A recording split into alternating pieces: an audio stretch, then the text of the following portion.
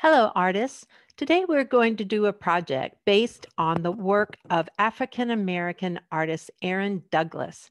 Aaron Douglas was a painter and illustrator who was very influential during the Harlem Renaissance in the 1920s and 1930s. He made a lot of pictures that had African and Egyptian influence. He also used value to create space in his picture, and all of his figures were done in silhouette, which was very different for the time. You can see in this picture that he's used different values of the same color to create the illusion of space and to create a lot of movement in his uh, picture. So as you can see here, there are a lot of lines and curves that intersect the picture. And those are done in a lighter value of the color green than the background here. His silhouettes of figures were always done in the foreground for the most part. And so they, they tend to be darker in his paintings. In this painting, once again, you have a very limited color palette of reds and greens, but you can see the Egyptian influence here. There's an actual Egyptian pharaoh head here and a pyramid in the background. The people in the foreground, again, are in silhouette and they are darker in value than the pinkish red buildings in the background. You also notice that there are, are a series of concentric circles that intersect all of the buildings and people in the photograph. And the beginning of it uh, is this child over here on the side holding a globe. So that's the first circle. And as they go out, they get lighter and lighter. So we'll be using the art elements of line, color, space, and value today for our picture. You're going to need for our picture today, this is what we're going to do. Instead of making figures, we're going to make hearts. Um, you're going to be using colored pencils and you'll also need your regular pencil. So if you notice in my picture here, I started with a heart in the middle. Uh, that's going to be the concentric background. So I made uh, hearts getting bigger and bigger as I went along. These hearts are in the foreground, so they are the darkest. And as the hearts go backwards, they start getting lighter in value. So the first thing you need to do is come up with what kind of color palette you would like to use. Aaron Douglas liked to use basically mostly two colors. So in this picture, it's reds and greens, and in this picture, it's purples and greens. So choose two colors that you really uh, like a lot and want to use for your picture. Since I use purples and reds and then uh, yellows, I am going to do something different this time. So here's my paper. Um, and I'm going to use greens and blues. And I tested those on a scrap piece of paper just so I could tell which were the ones that went from dark to light. So as I start to color my picture, I'll have a good idea of how I want to start. The first thing I want to do is to make a small heart in the background. And once I do that, I'm going to continue to make concentric hearts around this heart. Now, at some point, my hearts are going to start going off the page.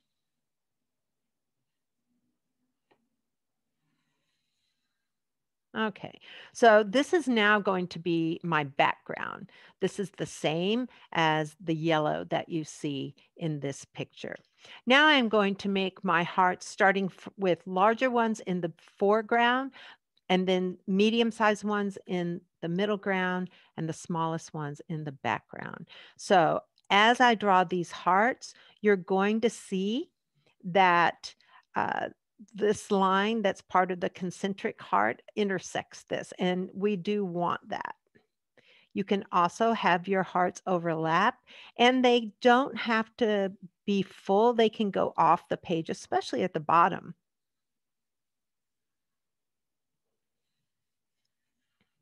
So I'm going to consider all of these hearts, the hearts in the foreground, and they're going to be darker than the hearts now that I'm going to make floating up. So as I go, I also want to make sure that some of them intersect and some of them can be on their own without intersecting these concentric lines. And I want them to start getting smaller as they head towards the background, the top of my paper. Okay, I want to leave this heart in the middle uh, without having an overlapping heart because that's the one that is, is kind of the beginning of the concentric hearts. So the first thing I'm going to do is color my background. So I have one, two, three, four, five different areas in the concentric heart. So I want to start with my lightest color and I'm going to make this background this time blue. So I will, I'm going to color in this heart a solid blue. And this is the lightest blue in my box of colored pencils. Okay, so I want to color that in all the way. My next concentric heart is right here. So I want to color that in with the next lightest color in my box of pencils. And like I said before, you can choose two different colors that you like. Um, the colors that are the least in my box of pencils were yellow and I chose yellow for my background. However, um, you can also blend pencils to make a new color if you want to. So I had to blend pencils for my yellow. So I'm going to color that all in. And I'm doing this quickly so that you can see how this works, but I will go back later and I will go back over my colors just so that they're a little bit neater looking. All right, so now I'm going to choose a new color.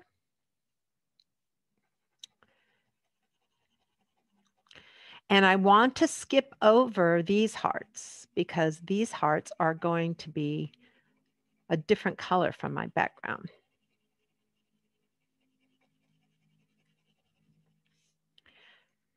Make sure I'm not coloring the heart.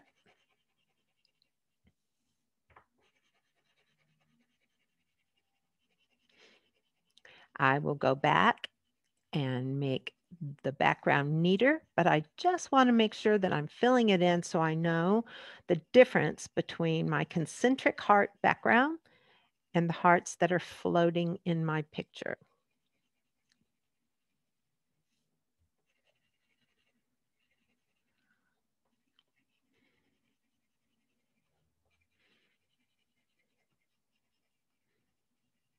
Okay.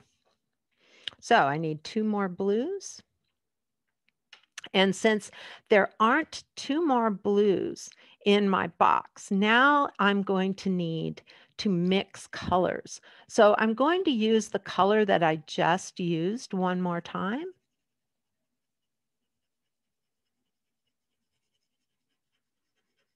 And I'm going to go over this area.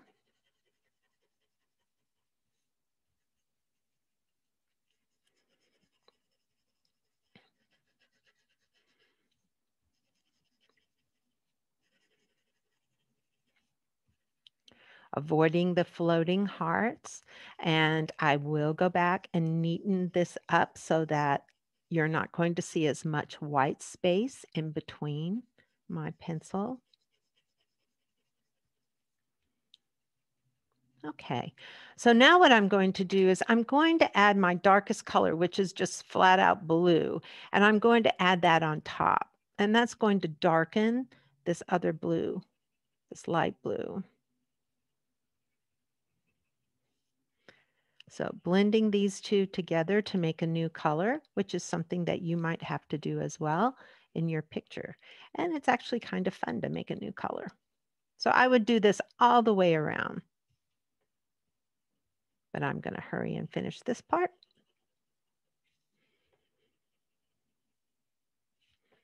And once again, I'll come back and make this neater later. All right, now this is the last color. So I'm just going to add it to the background.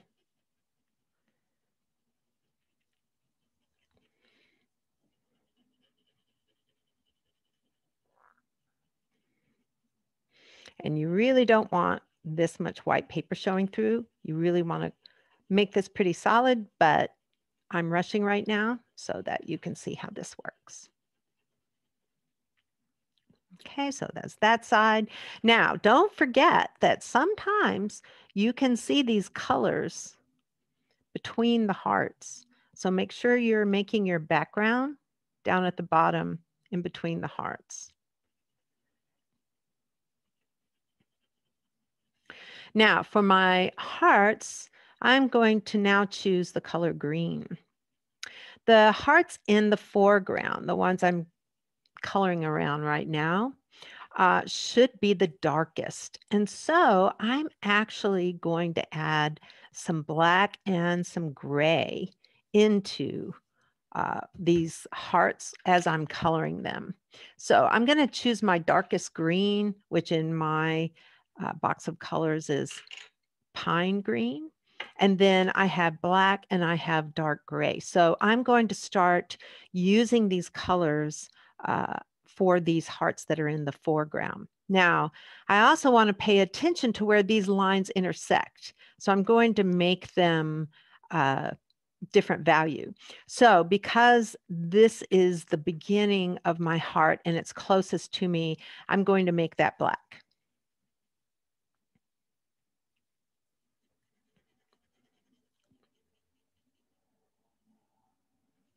And once again, I want to really color it solidly. Right now I'm rushing so that I can show you how to do this. The next one, the next section right here, I am going to make gray because we're getting lighter in value as we go along. And then the last section, I'm going to make pine green.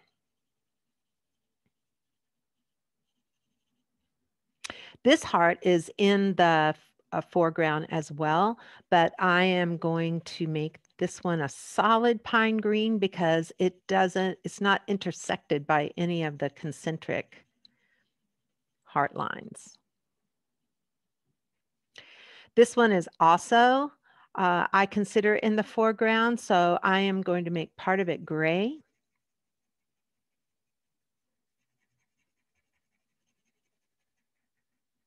And part of it pine green. This one is also in the foreground. It's the biggest heart. I'm going to make the bottom portion of it black.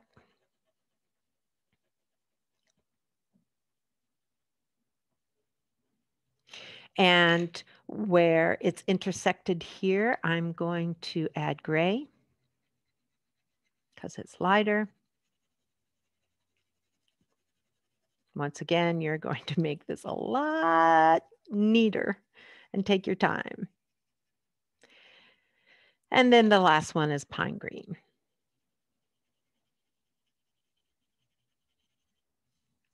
So all of my hearts in the foreground, I'm going to treat exactly like that. I'm going to look where they intersect. Uh, for instance, this one, I would make black here and I would make gray here. I'd make this pine green. This one I'm going to make gray and pine green. This one I would make pine green. This one I would make pine green. But I'm going to now move up to the next section and uh, use my next darkest color and start on these hearts. Now this is intersected here, so I am not going to color that in right there, uh, but I am going to color this one.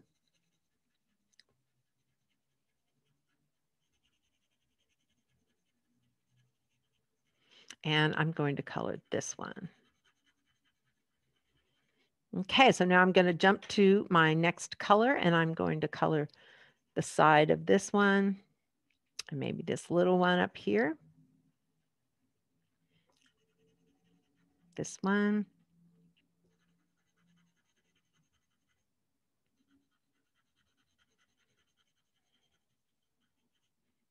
and here. Okay, and then I'm going to my next slide is color and just color some more of these hearts in. If it doesn't have a line intersecting it, then you're just going to color it solid. And then my last color.